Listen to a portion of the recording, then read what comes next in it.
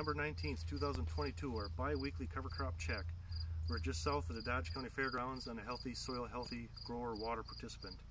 Uh, the corn is um, in week 17 and the cover crop is in week 12.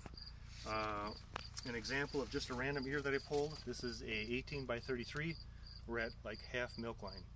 So getting into the cover crops, um, the most prevalent one, easiest one to see uh, when you walk into the field just jumps out at you, it's ryegrass. So everything that you see, that's all grass here. This is all, uh, that's all ryegrass. Um, the buckwheat is uh, starting to senesce and turn down. This is like a, a, 30 inch tall buckwheat. We don't have too many of them that are that are standing anymore. Um, there's they're they're just tipping over. They're they're going through their life cycle. Uh, we've got uh, rape.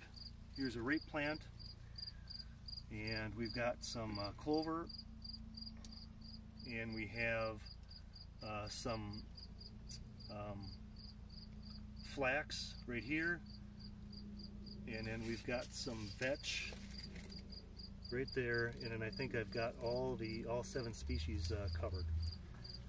Um, this corn within the last two weeks, you could uh, last two weeks ago when we shot the video was very green. We actually had to kneel and um, kneel down so you could see it.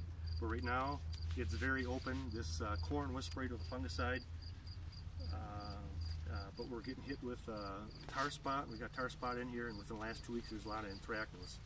So anthracnose, and the, the corn itself is just it's opening up. Uh, I'm going to step to the side. We can shoot a video. We'll shoot a video going down the corn rows to see how much uh, uh, cover crop we got going on going down the corn rows.